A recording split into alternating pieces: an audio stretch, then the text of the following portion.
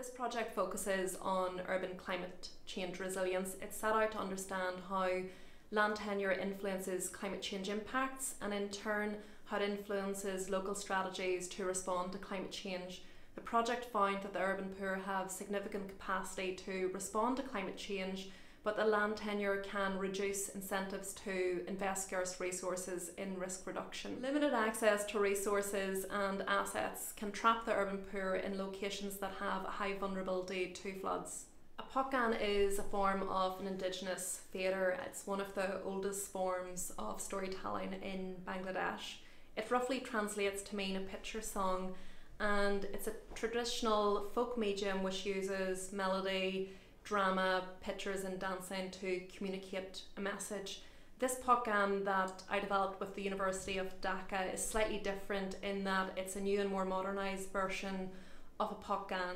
During my PhD in 2009, I actually seen a potgan performance, and for me, it was very effective to communicate messages on climate change. And from then, I was really interested in terms of how you could use potgans to disseminate research findings. Within Bangladesh, potgans, as I mentioned, are one of the oldest forms of storytelling, so they're very effective ways to communicate to local audiences. But I think where the potgan is distinct is you can have one form of communication that is able to target slum dwellers in Dhaka to a policymaker, for example. It uses photographs that I use directly from the project to communicate the message within the potgan.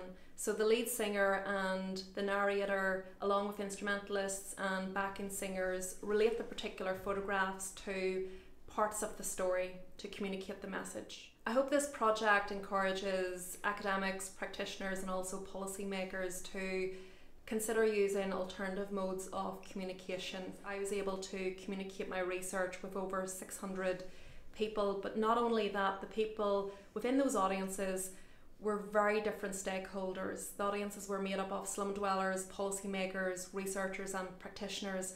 And I personally can't think of many forms of communication that allow you to communicate your work with such diverse audiences. As a researcher, I think it's very important to build awareness on climate change and also to go back to the very communities that our research is based on to tell them what we've learned from them.